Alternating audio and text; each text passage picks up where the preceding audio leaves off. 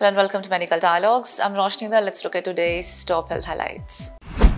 Consumer Court relief to Lok Nayak Hospital and doctor imposes rupees 10,000 cost on patient for frivolous and vexatious litigation. Holding that false allegations and unsubstantiated claims amount to frivolous and vexatious litigation, the District Consumer Disputes Judicial Commission 1 North District has rejected a complaint against Dr. and Lok Nayak Hospital seeking compensation on the ground of failed sterilization surgery. Divya Jyoti Jaipuriar, President and Ashwini Kumar Mehta, member of the District Commission, observed that as argued by the doctor's advocate, the complaint was not maintainable qua doctor. Doctor also as the hospital being a government hospital does not charge any fee from any of the patients and the services so rendered by employee doctors are also out of purview of the applications of the Consumer Protection Act. Moreover, on scrutiny of documents, uh, the commission found that the complainant has given a false statement regarding her visit in the hospital in the month of October 2021 as none of the medical records which have been filed by the parties before the commission suggest her visit and medical treatment prior to 16th of March 2015 during her third pregnancy. Further, the court noted that on account of retirement of the doctor from the services of the hospital, it is also not possible that the complainant visited doctor at the hospital. Hence, the statement of the complainant that she visited the doctor who allegedly delayed the medical termination of pregnancy is also not correct. Therefore, we are out of the opinion that the complainant has made false allegations and unsubstantiated claims against both the OPs. Hence, while holding that these false allegations amount to frivolous and vexatious litigation, we impose a cost of rupees 10,000 on the complainant, which shall be paid equally to both the OPs.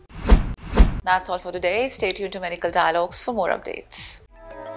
Never miss a medical update from Medical Dialogues.